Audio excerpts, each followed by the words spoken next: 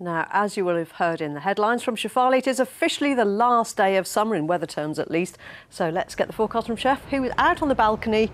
The last rate of summer, Shef.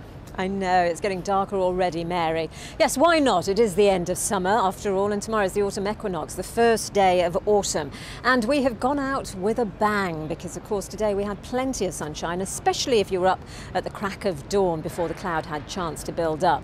Now that sunny start came off the back of a clear night when some of our weather watchers had the chance to see last night's full harvest moon and in all its glory, and what a spectacle it was, as you can see from one of those pictures.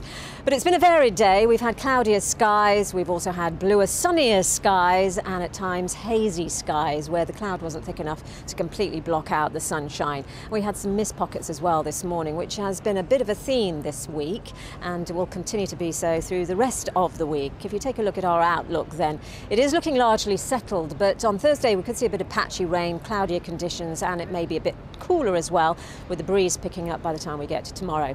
Look at our pressure chart, and you can see that strip of rain which which is the cold front sitting out to the north. As it slowly progresses southwards, tomorrow it's going to push a little bit more in the way of cloud our way, and then that rain comes through on Wednesday night into Thursday morning. Uh, but uh, it is going to be a high pressure week this week, mostly, and that's our constant companion, which is actually keeping things dry right now and right through the night.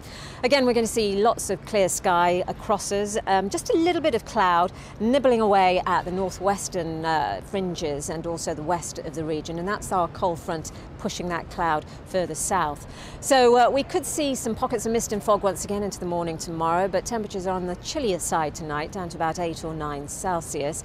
And then those temperatures race back upwards to about 20 to 21 Celsius tomorrow. Now, as I've said, the average for this time of year is now 18 to 19 Celsius, so we're doing better than average. And we've got lots of sunshine to look forward to tomorrow. There will be more in the way of cloud through the afternoon. It stays dry, but that cloud is just a thin veil. And then, as we come to tomorrow night into Thursday, a bit of patchy rain, not much. Uh, more in the way of cloud through Thursday, but it's still fairly pleasant with temperatures still around 20. Oh, thank, thank you very much, Shefali.